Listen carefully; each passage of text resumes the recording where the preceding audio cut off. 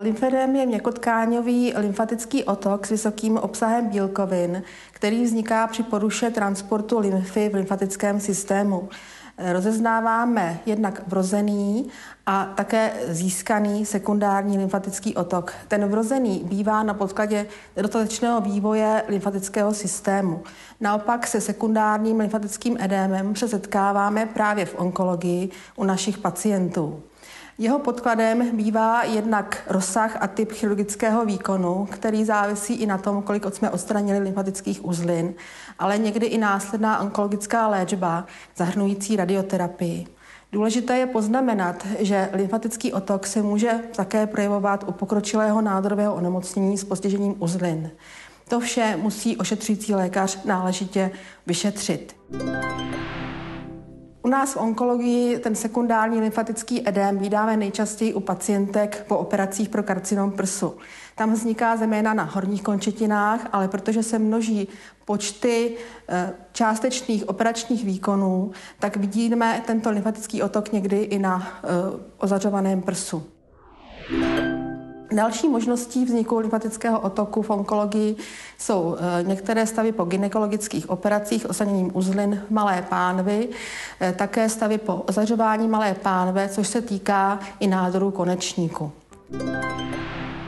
Lymfatický otok bývá zpravidla chladný, měkký a pastózní, což je hlavně z počátku, později ale tuší na pohmat, kdy nezanechává tlak prstů důlek. U pacientek po operacích prsu jsem se zmínila o částečných výkonech. Tam samozřejmě ten edém může vypadat i jinak. Kůže prsu bývá někdy zarůžovělá až zarudlá, otok se hromadí v dolních kvadrantech prsu a tady se jedná vlastně o poškození kůže a podkoží po ozařování.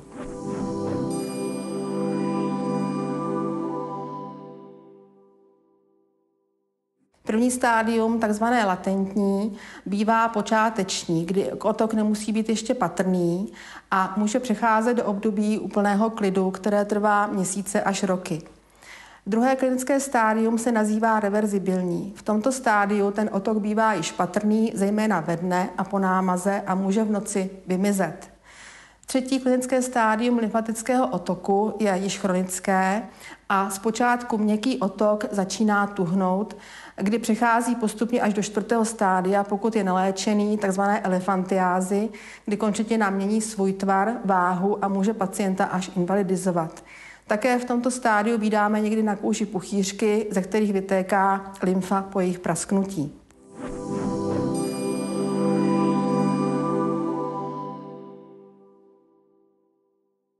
Důležitá je prevence lymfatického otoku, takže jak ošetřující lékař, tak pacient by tomu měli věnovat náležitou pozornost. Jedná se zejména o prevenci eh, horkých fyzikálních veličin, to znamená eh, vynechat horké koupele, saunování, snažit se vyhnout drobným poraněním nebo poranění od domácích zvířat, řádně léčit všechny kožní infekce a nenosit těsný oděv. Pokud se tento otok již vyskytne, pak je důležité, abychom konzultovali odborného lékaře, který se tímto eh, léčením zabývá.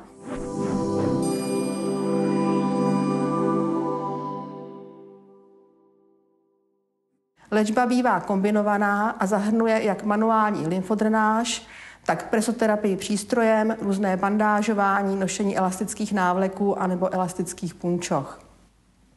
Samozřejmě používáme i některé medicamentózní přípravky, které mohou pomáhat té fyzikální léčbě, ale nejsou v terapii zásadní. Užívá se například Detralex, který spevňuje žilní stěnu, nebo některé enzymatické preparáty, jako je Wobenzym a Pokudenzym, které zlepšují lymfatickou drenáž, zejména v těch počátečních stádích otoku. Velmi důležitá je spolupráce ošetřujícího lékaře s tím lymfologem proto, že jsme se zmínili o možnosti postižení onkologických pacientů recidivujícím onemocněním anebo při počátku nějakého velmi progresujícího nádorového onemocnění. Tady je nutné odlišit, zase jedná o otok čistě po operační nebo po ozařování, anebo projev nemoci. Samozřejmě se snažíme, aby pacienti byli léčeni komplexně a aby nedocházelo k chybám v té léčbě. To znamená, zásadně neléčíme při probíhající akutní horečnaté nemoci nějaké bakteriální nebo plísňové infekci, které jsou samozřejmě kontraindikací léčby absolutní. A dále máme některé relativní kontraindikace, mezi které patří různá srdeční onemocnění, bronchiální astma, zvýšená činnost štítné žlázy a nebo nějaké další komplikující onemocnění.